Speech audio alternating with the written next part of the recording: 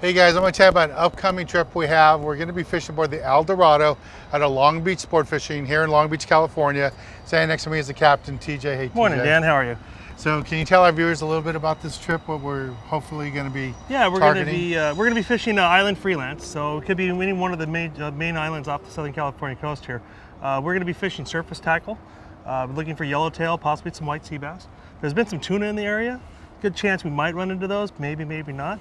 But we're mainly going to be looking at the yellowtail and possibly calico bass fishing. It's going to be our main target. All right, so it's going to be more surface because normally I know you like to run to Nick and do a lot of shallow water rock fishing. Yeah, in our wintertime run, we run shallow water rockfish, basically November, December, and then March and April.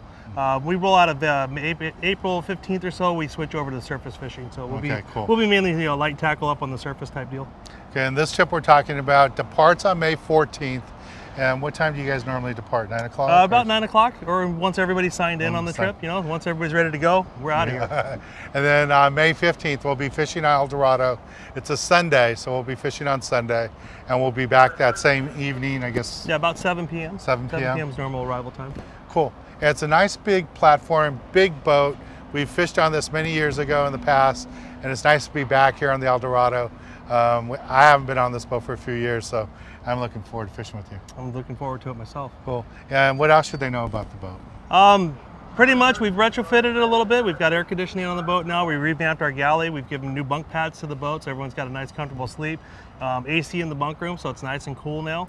Um, other than that, it's it's ready to go. And the boat's so big, I mean, even if you had 35 people on it, which we won't have that many, I mean, that's plenty of space. Plenty of room, plenty Yeah. of room. We run our shallow water rockfish trips with 40. 40. So this trip, I think we got 30 or so, so Yeah. plenty of room on board. It's an 85 foot fishing vessel, plenty of room up the sides, 160 scoop capacity bait tank, lots of room, lots of amenities. And people every once in a while will ask me, you know, are the boats safe? What's the deal?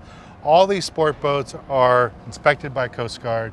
They have all the navigation, communications, fish finding equipment like this boat has. And you can see the life rafts on top. It's got life-saving equipment on it too. Yes, we're all set up, ready to go, in full compliance with the Coast Guard. Right, we've never had to use that stuff, but it's there. That's, That's true. why it's there. Yes, yes. All right, well, I'm looking forward to fishing with you and uh, can't wait to go. For all of you that haven't fished on the El Dorado or if you have in the past, you want to go again, come join us on this trip. Again, we're departing on May 14th, Saturday night, fishing the 15th, uh, Sunday, and we're going to have it offshore, like TJ said. Hopefully, it's going to be San Clemente, maybe Nick, you never know. Good possibility of either one. Or it could be tuna in between. Could be. Never know. All right, don't forget to go to the website and don't forget to sign up and then click right here and follow me on my YouTube channel. And you can always follow me on Facebook, Twitter, and Instagram.